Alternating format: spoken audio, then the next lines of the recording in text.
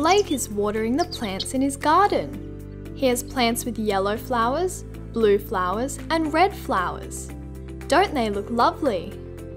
Let's make a tally chart to show the number of each flower colour. How many red flowers are there? One, two, three, four. There are four red flowers. We can show four red flowers by drawing four marks like this. What about the yellow flowers?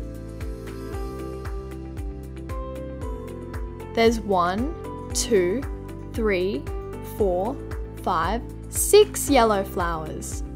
On the tally chart, we draw four marks in a row like this. Then we draw the fifth mark like this. This makes counting the marks easier because they are in groups of five.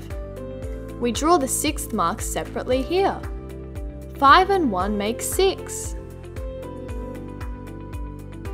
Finally, how many blue flowers are there?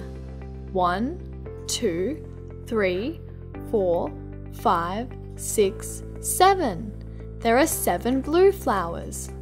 We can show 7 in the tally chart with a group of 5 marks and 2 marks like this. 5 and 2 make 7. That was fun. See you next time.